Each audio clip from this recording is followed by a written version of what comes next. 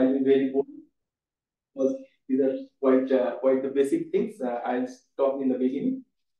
But uh, the topic is that uh, revisiting Paleogene. Paleogene is a time, uh, what I will explain, and through the migration pattern of bivalvia.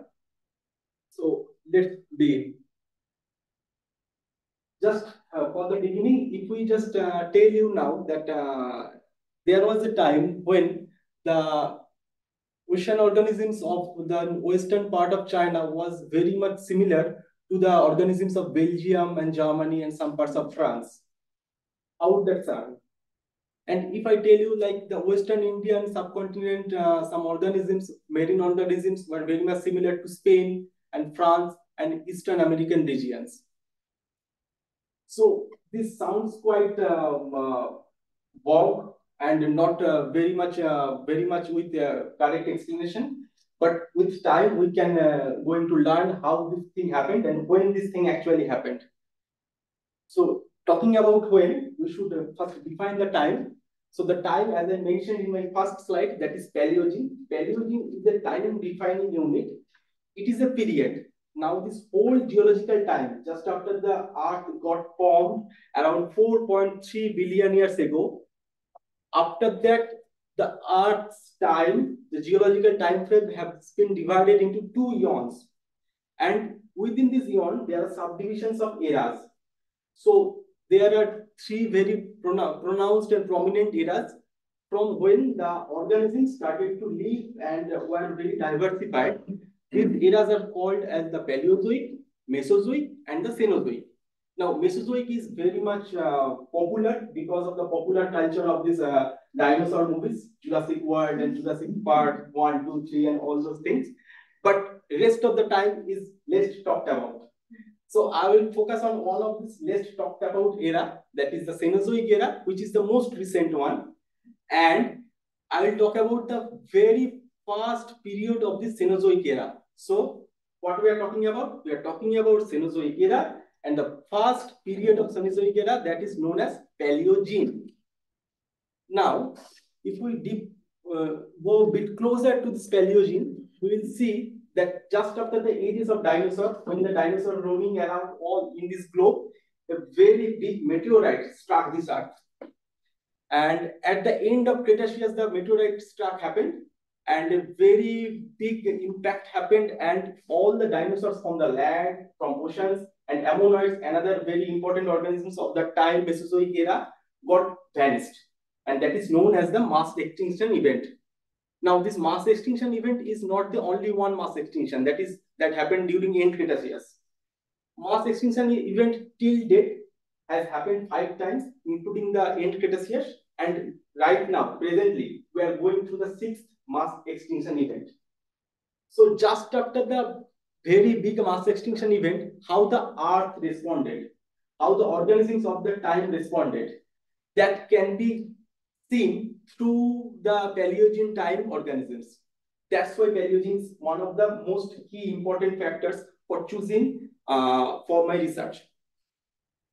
Not only that, if we see this is the end of Cretaceous, the dinosaur got extinct, and from the end Cretaceous onwards, there was a global warming or from the scientific perspective, it is called hothouse or warmhouse. So it was going for around 10 million annums and much more than that, around 17 million annums. So for the first 10 million annums, it was a called small, another time defining unit called Paleocene. And after that Paleocene epoch, there was a very big and pronounced, uh, pronounced global warming. You can see by this sharp peak which is called at the Paleocene-Eocene thermal maximum. So during this thermal maximum, the global warming happened like, uh, like 5 to 6 degrees higher temperature than the usual temperature present during that time. So temperature rose and the temperature was quite high for the next 10 million annums. After that, temperature started to decline and slowly during this Eocene epoch, the temperature went so down that it went into a cool house. And during this cool house, it is a very important phenomena. Like during this cool house, in Cenozoic uh, era, for the first time ever, the cryosphere formed. Now, what is this cryosphere? Cryosphere is nothing but the polar ice caps. So the first polar ice cap formed in the southern hemisphere Antarctic regions. So it started to form from the middle Eocene onwards. And the earth was going slowly into the cool house phenomena. But that's not all the scenario of this time. During that cool house phenomena, when it was starting, there was very pronounced global warming as well. You can see through these uh, very, uh, very pronounced peaks. These are the time uh, temperature defining peaks. So the temperature rose again for quite a few times. And as the temperature rose, so during that cool house, there was global warming happening. Now, if we compare that time with the present scenario, this is the present time and in the into the future. So the present time is defined as Anthropocene epoch. Because of this global warming that is happening just after the Industrial Revolution for the last 200 and 250 years till now, and it will be going beyond our time. Because of this uncontrolled emission of carbon dioxide into the atmosphere, the temperature is rising, and it is quite similar to the past environment when the temperature was quite high. You can see from these curves. If we can control this environmental uh, scenario and uh, control our carbon dioxide emissions, then we can make control and it will remain in the ice house phenomena and it was continuing before this industrial revolution.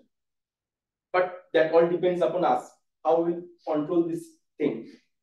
So that's how, how the organism responded to the global warming that is happening within the schoolhouse period that can be seen through this study of the Paleogene uh, bivalvia or the organisms and that can be extrapolated into the present present situation of this global warming and thus uh, climatic problems. During the Paleogene also, uh, there was happening uh, pronounced transgressions that the coastal regions were getting flooded due to this uh, warm temperature, temperature rise. So here again, you can see that uh, the coastal regions of Europe and uh, a very vast region of uh, Northern America, Southern America were getting flooded. That's how shallow shelf regions of oceanic part was getting generated during that time. And very pronounced tectonic events was also happening. Now, what is the tectonic events? You can see just before the Paleogene, India subcontinent was residing in the southern hemisphere. And it was already moving from the southern hemisphere to the northern hemisphere. And there was uh, not very much pronounced oceanic gap between the southern uh, America uh, and Antarctica and here in Australia and Antarctica.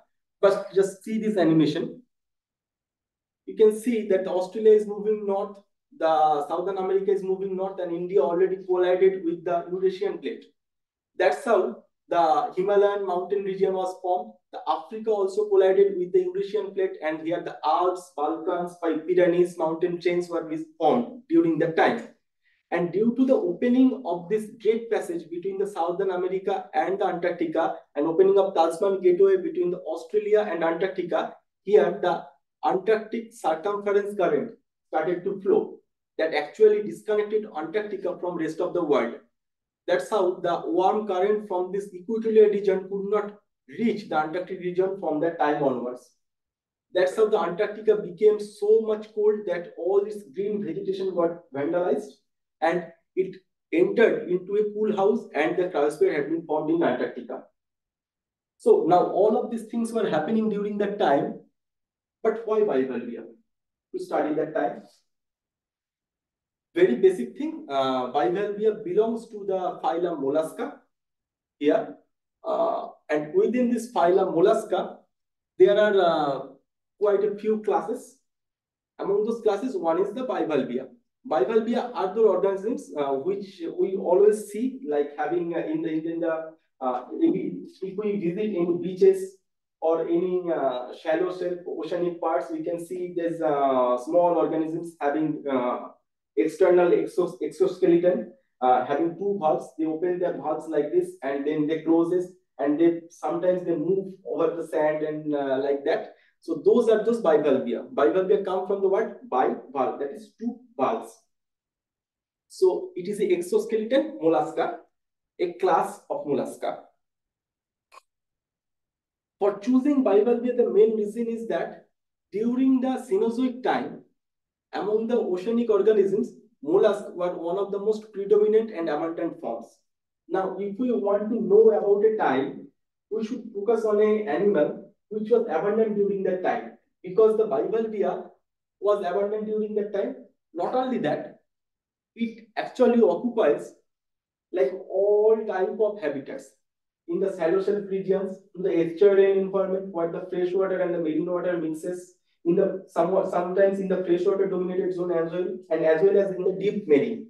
And they can adapt to the situation depending upon their mode of living. Some of them burrow some of them uh, cement to a substratum some of them swim some of them crawl some of them just lie freely so everywhere you'll see bivalvia bivalvia bivalvia. That's how the bivalvia became the, so much abundant that if we want to know about the time bivalvia is one of the reasons. The second reason behind choosing bivalvia is that their cycle of life. After the larva of bivalvia is born, uh, they go through, after the just the larva, they go through a stage of either of these two stages, either lecithotrophic or planktotrophic stage. So lecithotrophic is the stage when the larva feeds upon the egg yolk the egg yolk associated with the larva. So they feed on the egg yolk. And another one is the planktotrophic larva, which depends upon the planktons. So when they are feeding on the planktons, the specific bivalvia, most of them feeding on the planktons, they get suspended in the water column. So they are suspended freely on the in the water column. That's how they are very much susceptible to move or disperse from one place to another just by the ocean current. Wherever the ocean current will take them, they will move along the ocean current. But that's only during the larval time. When they get uh, metamorphosed and get adults, their shell being formed, the exoskeleton that we see on the shore and any other places, then they are just uh, either they are boring, they are burrowing, they are uh, uh captured some kind of uh, hard substrate for cementing, then they are not moving.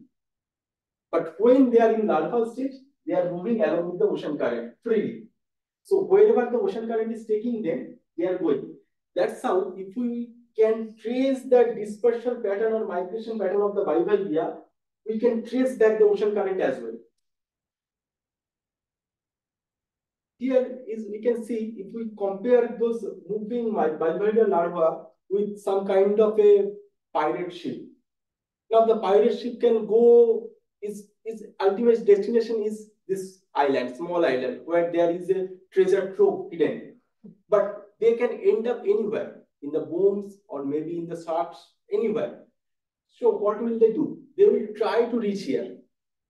But they are just uh, dependent upon the ocean current. So either if they end up being somewhere in these regions where the boom or the octopus is there, they will try to adapt to fight the environment to adapt their body and that is called mutation. And if from the primary origin, from here to here, there is a geographic barrier is being formed, then the mutation will happen and due to the barrier, there will be speciation. Because from the primary uh, assemblage of them and the secondary assemblage of them, there is a specific difference between their uh, common traits the common morphological characters has not been retained because they had to adapt to the specific temperature, specific salinity, specific um, uh, pH level, everything. So their morphology has been adjusted to some level. So there is happening some speciation. So the species will be different from the primary place to the secondary place, but the genus will remain same. So there will be allopatric speciation. So we have to trace the genera only. If we concentrate only on the species, then our uh, focus will be much more restricted. When if the speciation happens, we cannot trace them back.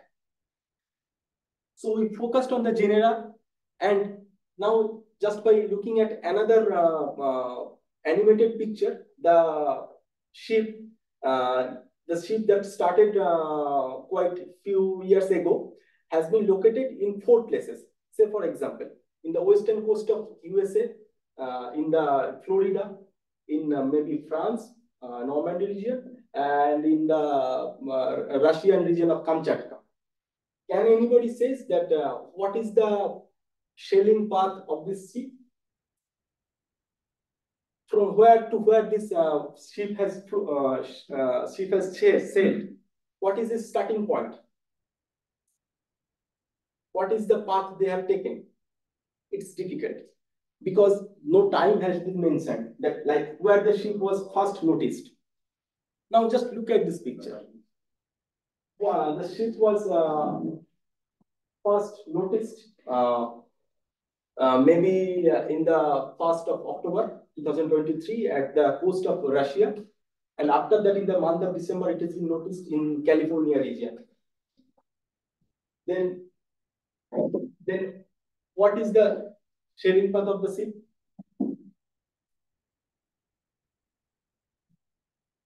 The ship uh, sailed from uh, Kamchatka region uh, through the North Pacific uh, current towards California. So it took the ocean current, North Pacific current.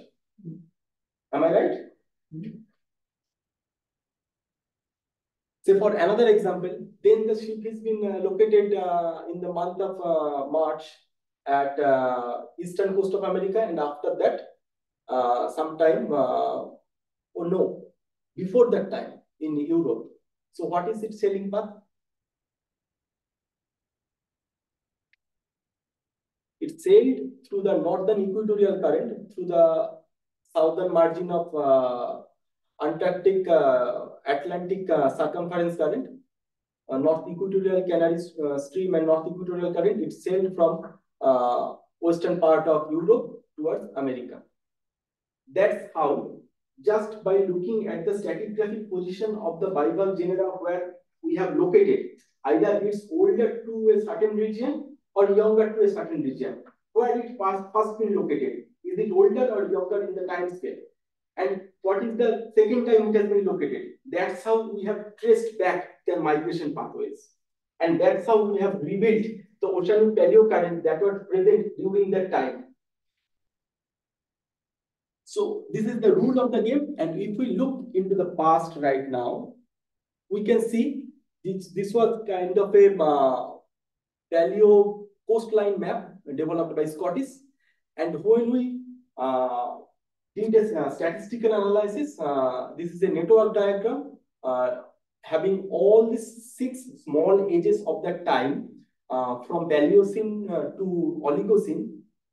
Within this Paleogene period, we have seen some very prominent traits where you can see that the older occurrence of bivalves have been found in Western Indian province, that is here, and relatively younger occurrence of the same bivalves have been found in European province. So what is the migration pathway? That they have they must have migrated from the Western India towards Europe.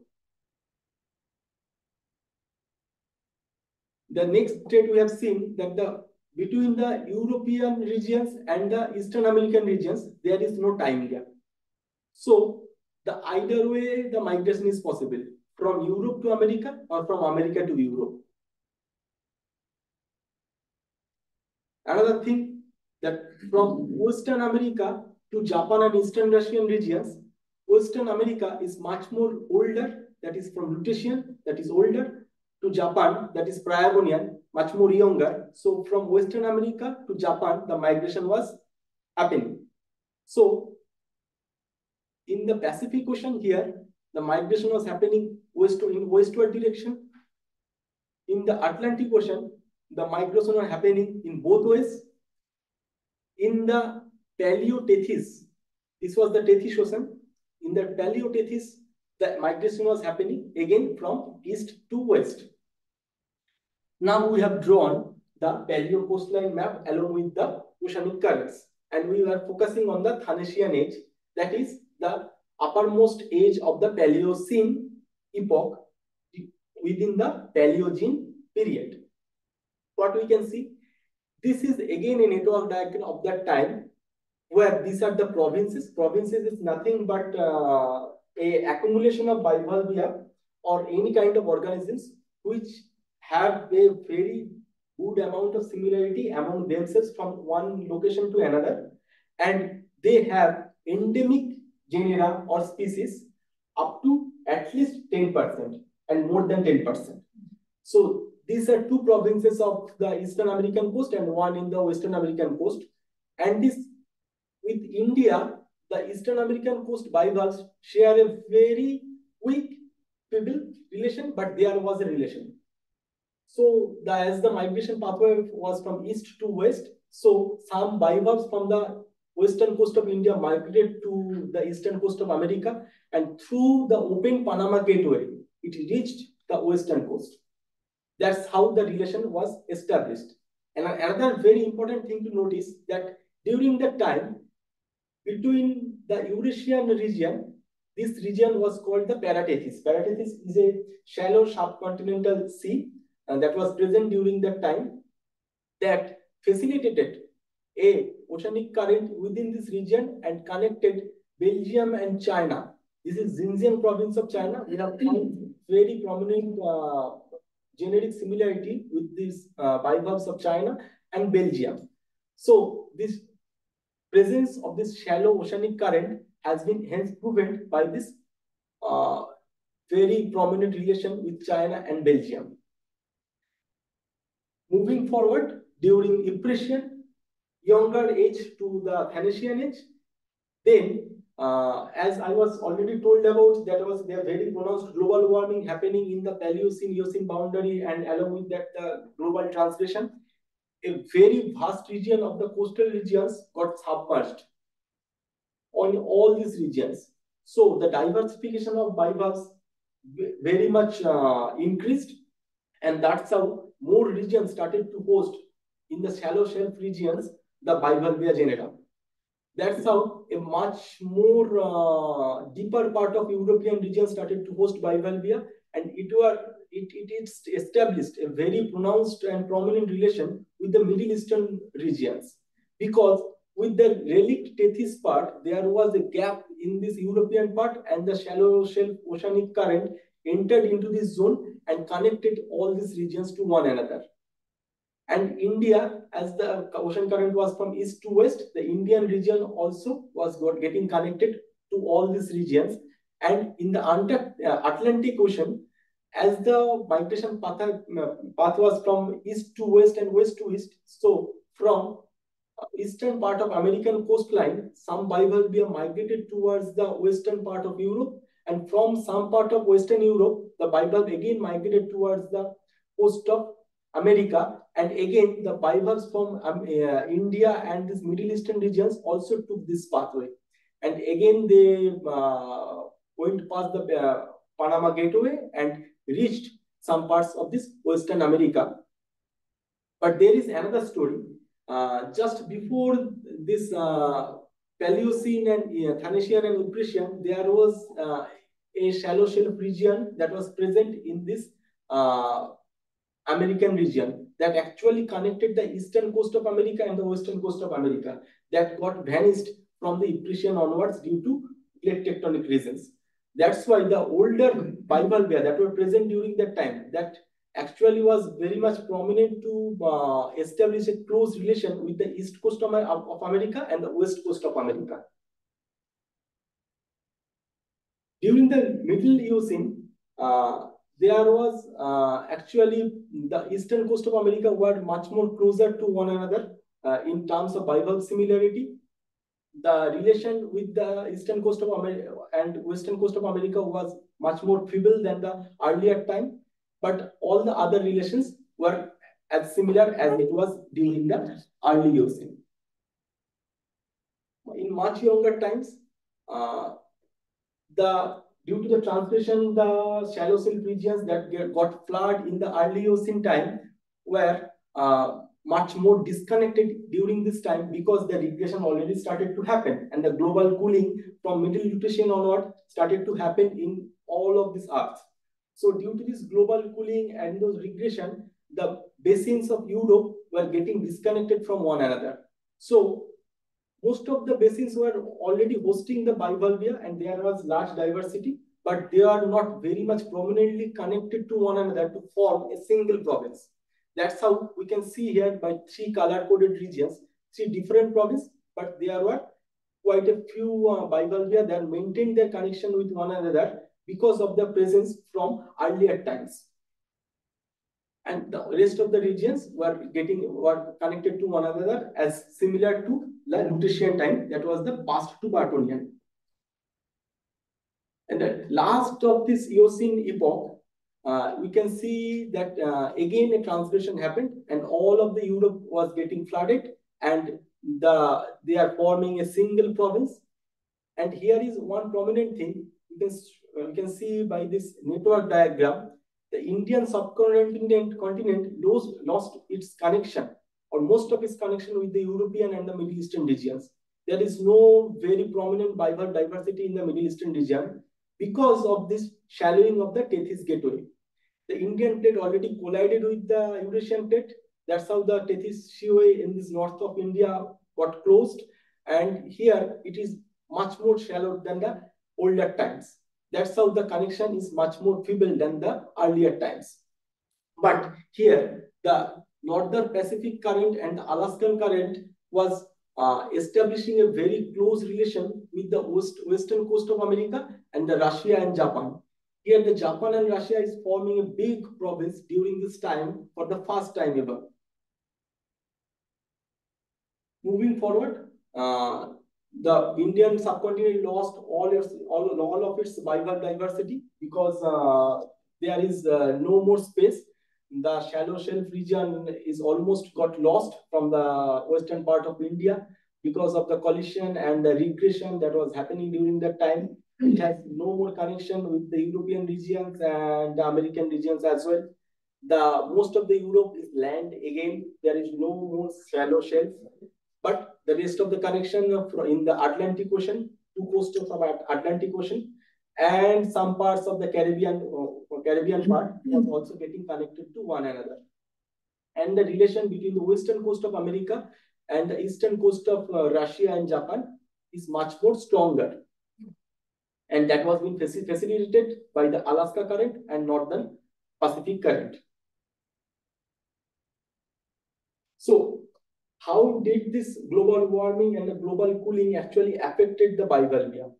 Here, these bars are the number of genera that were present during the time of each time slice. These are the ages, and here you can see the correlative time when the warm house was there and the cool house was there. So during the warm house, when the global warming was happening, the number of genera was got very high from Thanetian to Ypresian. And the appearance of new genera was much more higher than the extinction. But with time, when the cooling started to happen, the appearance slowly declined, but the extinction got higher. And in fact, in the Priabonian Rupelian boundary, when the cooling was there, the cooling struck the genera so much, the extinction is much more higher than the appearance. Why did that happen? Because here you can see that uh, it's not very prominent in this uh, in this in this in this uh, diagram, but uh, these are the uh, latitudinal distribution, and here this is from this range to this range. It is the 30 degree north latitude to 60 degree north latitude. Same for all these three pictures. This is a bar diagram of Paleocene time. This is from Eocene, and this is from Oligocene time. And all on these three times, the bivalve are mostly concentrated in the uh, temperate climatic regions of 30 degree to 60 degree. So when the global warming is happening, as the regions were getting flooded due to the transgression that hosted most of the bivalve genera and the diversity increased. But when the extinction happened, that actually struck more severely in the 30 to 60 degree range. Why? I will explain in the later slide and the extinction happened from these regions where the diversity was much more concentrated. That's how the extinction is much more fatal for the shallow shelf marine organisms of bivalvia in cooling period than the warming. During the warming period, that is in the Paleocene-Eocene boundary, we can see here the appearance rate is much more higher in the lower latitudinal regions and in the temperate climatic zones. But the higher latitude, the polar, polar uh, regions is not uh, experienced experiencing much more of appearance. But look at the extinction rate. The extinction rate is much more higher in the higher latitudes in the polar regions. Because when the global warming is happening, what will be the main objective of those any organism? They will try to find their equitable climate and uh, temperature where they can reside. Now think about the organisms already residing in the equatorial and the temperate climatic regions. They will start to migrate towards more higher latitudinal regions where they can find relatively cooler temperature because the temperature they are uh, residing already maybe 15 degree. Now the temperature of this region is 20 degree. They can reside there anymore. So they have to find this 15 degree temperature. So what will they do? They will try to find 15 degree temperature in much higher latitudes where their temperature is might be 15 degree, which previously was maybe 10 degree. That's how they started to migrate towards higher latitudes. That's how the migration happened towards higher latitudes. But think about those bivalves already residing in these polar regions. They are accustomed to uh, reside in maybe uh, 5 to 0 degree of temperature. Now the temperature has been risen to almost 10 degree. So what will they do? They have no place to migrate. They cannot go downwards to lower latitudes because the temperature is much more higher there. So the extinction will be higher in the higher latitudes. In contrary to which, in the uh, cool house period, in the Eocene Oligocene boundary, uh, the extinction is much more higher from the equatorial and the temperate climatic regions. And appearance is uh, much more, uh, is almost zero in the, in the, in the equatorial regions, much more higher in the temperate climatic regions and higher latitudes as well, 60 to 70 degree range already in the polar circle. So the bivalves will automatically try to migrate towards lower latitudes to adapt to the environment, the situation. But the bivalves already residing in the temperate climatic and the equatorial regions, they have no place to migrate. Similarly, as in the uh, um, warm house period, they started to migrate towards higher latitudes. In this case, they will try, try to migrate towards lower latitude, but the lower latitude bivalves will try to find much more cooler temperature. They will not fry. So what will happen? They will got extinct. So what we can we can we can we can uh, recollect from this whole presentation. Uh, that is the uh, migration pathway uh, was mainly westward in the northern northern hemisphere regions, in the temperate climatic regions towards the uh, equatorial regions, and the tectonic and the climatic changes actually has very uh, crucial roles on the diversification pattern and, uh, and, the, and the fatality or the mortality of the bivalves. And cooling is actually much more fatal for the shallow shell organisms like bivalves than warming. But who survived? Only those juveniles who were who did not had much more energy stored with themselves like the yolks having only dependent upon the planktons, they migrated. They were easy to migrate, migrate, and they actually migrate from one place to another, and they survived before they were getting settled. So the juveniles can migrate and get survived, but not the grown ones who already got settled and burrowed deep inside their head in the sand. Uh, Thank you all. And this is the reference that I have used, and this is the research work I have done with collaboration with Professor uh, Kalyan Halder from Kolkata. And this presentation is already uh, been published in the conference abstract of this uh, conference, Are You Going in September, and this article is under review right now. Thank you all.